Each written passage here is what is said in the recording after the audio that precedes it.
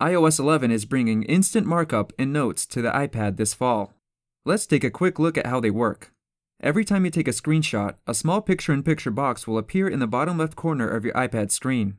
Just tap on the pip to open it up, allowing you to instantly mark it up and share it. Instant Notes works by using your Apple Pencil to tap on the screen after waking it, instantly opening up Notes without having to unlock your iPad. Of course, you'll need an iPad Pro for this new feature, since the Apple Pencil won't work with any regular iPad. Delving into Instant Markup, we see that you can take multiple screenshots, which adds them to a pip drawer.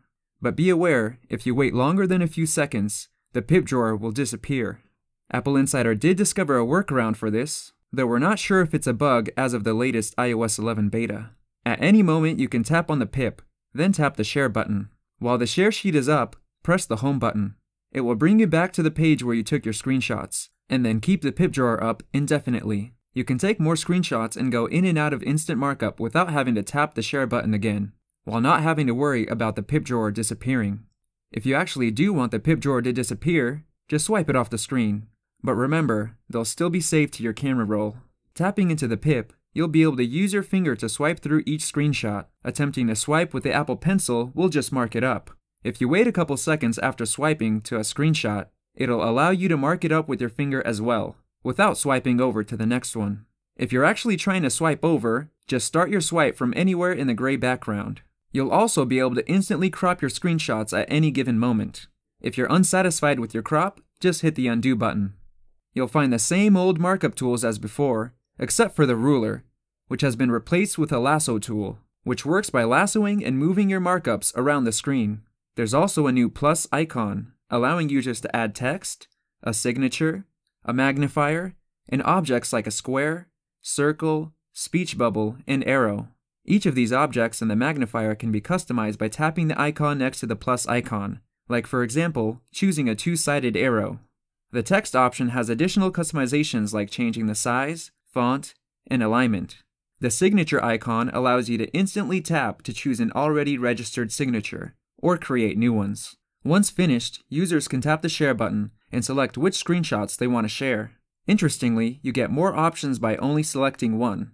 You can also share one screenshot a specific way, then select and share another one a different way. Once finished, hit cancel and then done. You'll have the option to save them to photos or delete them if you no longer need them after sharing.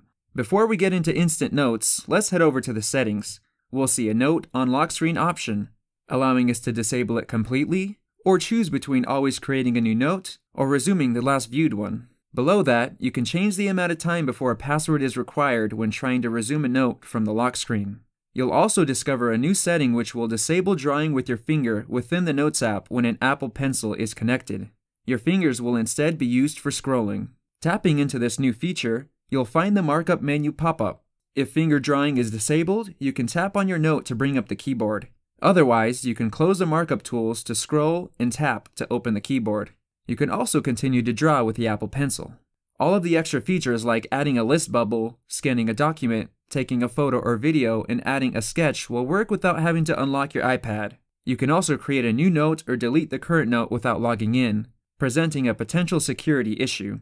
Thankfully, users can retrieve recently deleted notes after unlocking their iPad. Attempting to share the note or view all of your notes will require a password. Now let's get into what has changed in the General Notes app with iOS 11. The camera icon has been replaced with a markup icon, which allows you to instantly mark up instead of having to add a sketch in iOS 10. The former photo library and take photo or video options have been moved into a new plus icons menu, along with add sketch and the new scan documents feature. To learn everything you need to know about scanning documents in iOS 11, click the card above.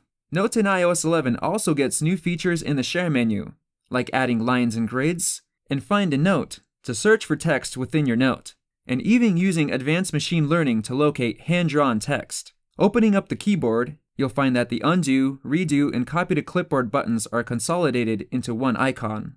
You're also presented a new add table icon, after adding a table, you can tap the option buttons to add or delete columns and rows. Tapping the Add Table button again gives us additional options like copying, sharing, or deleting the table. You can also convert it to text, which removes the table while keeping all the text. Tapping the Font button presents new font options, like a new monospaced option, and font customizations like bold and underline. If you're interested in learning about all the other features coming with iOS 11, click the card above to see our Inside iOS 11 playlist.